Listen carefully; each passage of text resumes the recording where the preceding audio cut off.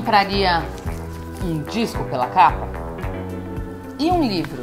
Dá para julgar que tipo de história que ele conta só de olhar? A gente sabe que nelas tem muito mais informação e histórias do que a gente imagina. Por isso, Metrópolis hoje fica na capa. Goma Gringa é, começou como uma pequena loja online, logo na sequência virou um selo fonográfico especializado na produção de, de discos em vinil, né, lançamento de discos no formato é, vinil, LP principalmente. E Três Selos é, é, o, é a junção, o encontro entre três selos que são Assustados, Assustado Disco, EIO Records e Goma Gringa. A produção gráfica consiste em é, escolher e montar todo o processo de produção de uma capa. Então uhum. vai do qual tipo de impressão você vai poder utilizar, em qual tipo de papel, qual tipo de acabamento e por aí vai. Tô vendo que você tem uma do Kiko Dinucci, por exemplo, aí atrás de você, do último disco do Kiko, não é? No caso do Kiko, é, ele desenvolveu o projeto todo. Veio para a gente já com a foto feita, com o projeto pronto, na verdade. E aí trata-se mais de uma adaptação para o vinil. É, a maioria dos casos é assim.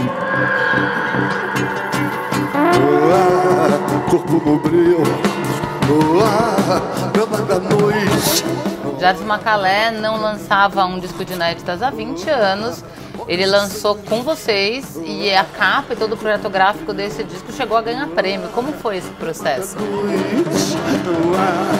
Eles chegaram com é, essa capa, que é essa foto do, do Cassi, é, que aliás foi uma das últimas fotos que ele produziu antes de, de morrer, né? A identidade do disco a tipografia, essas coisas foi desenvolvido pelo Rodrigo Sommer, que é designer, uhum. designer gráfico e é, para o CD e então a gente a partir desse trabalho dele adaptou para o vinil acrescentando umas fotos e tal e o que a gente acrescentou mesmo foi a produção de três lâminas em serigrafia. Você acha que dá para gente saber alguma coisa pelo disco ao olhar a capa? Acho que sim, acho que é o objetivo, né? A gente passar algum tipo de sensação que a princípio você encontraria na música que você vai ouvir ao botar o disco para tocar. Você já comprou disco pela capa? Ah, muitos. Pra não ter, pra não ter, pra não ter de acabar. Eu sou obcecada por capas de livros. Eu já comprei livros porque a história me pareceu muito legal a partir do que a pessoa que fez a capa me mostrou, sabe? quanto mais velha eu ficava, mais eu ia saindo do jornalismo e entrando no mercado de ilustração. E aí apareceu a minha primeira capa.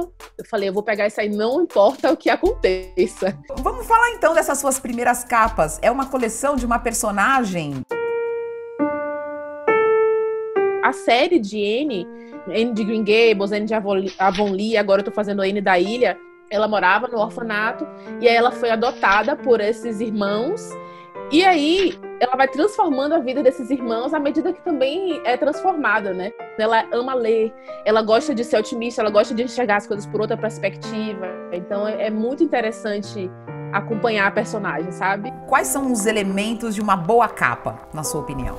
Eu gosto de ser inserida no universo do livro pela capa. De todas as capas que eu faço, é, primeiro, a identidade daquele livro, eu não quero que fique só a minha identidade como ilustradora. Eu quero que seja também a proposta daquele livro, como foi no África Recontada para Crianças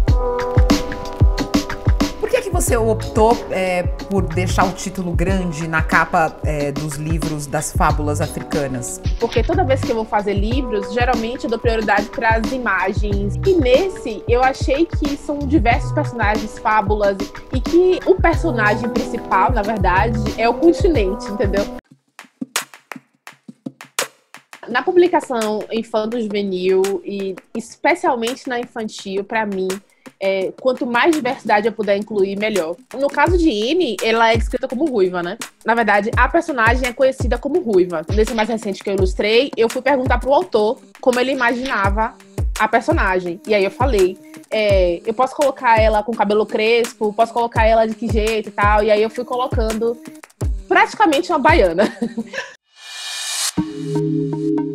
O Metrópolis fica por aqui, que bom que a gente estava junto. Um beijo e tem mais conteúdos nas nossas redes sociais.